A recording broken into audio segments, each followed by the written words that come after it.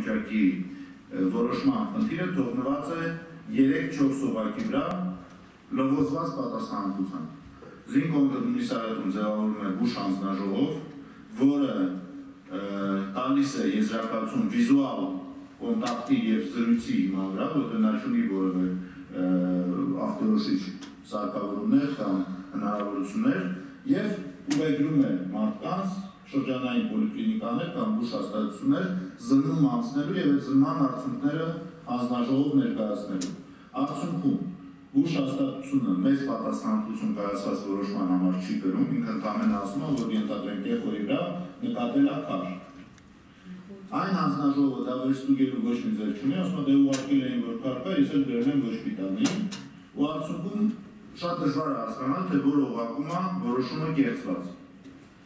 Ինչ ենք մենք նախատեսում անել։ Ընդ որում այս օրենքը դա չի անում, այս օրենքը ընդամենը 5 կան ստեղծում, ասելով որ բուրզման կարգը կսահմանի կառավարությունը որոշակի կրկին ճկունություն ունենալու համար մենք ենթադրում ենք, որ այսօր երբ մեր բոլոր քաղաքացիները ունեն ընտանեկան բժիշկների կցագրում, երբ պետությունը վճարում է քաղաքացու, հատկապես արական սեռի քաղաքացու,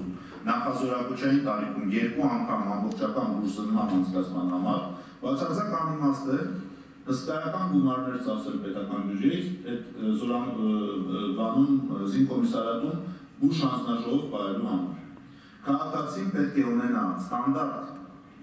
առողջական վիճակի գնահատման ձև, որի տակ իր կցագրման առաջնային սպասարկման բուժհաստատությունը պոլիկլինիկան կամ ամբուլատորիան եւ այլն պիտի իրավունք ունենա եւ պարտականություն ունենա ստորագրելու։ Ասելու ես ծնել եմ, այս քաղաքացին այս հիվանդությունը ունի, այս հիվանդությունը չունի։ Որից հետո դա ավտոմատ որոշման կայացման հիմք է։ Եթե չունի ինքը պիտանիա, զորակոչի, եթե ոչ, պիտանիչի կամ պիտանիա սահմանապահպան։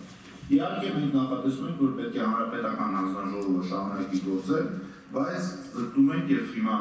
աշխատանքային խմբայակության աշխատում ձևավորել փորձագիտական լրջագույն կարողություններ, որպիսի այդ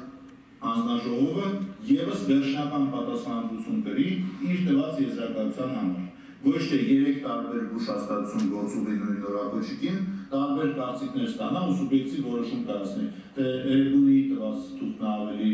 արժանահավատ, թե ենթադրենք Արմենիա բժշկական կենտրոն։ Այսինքն մենք որպես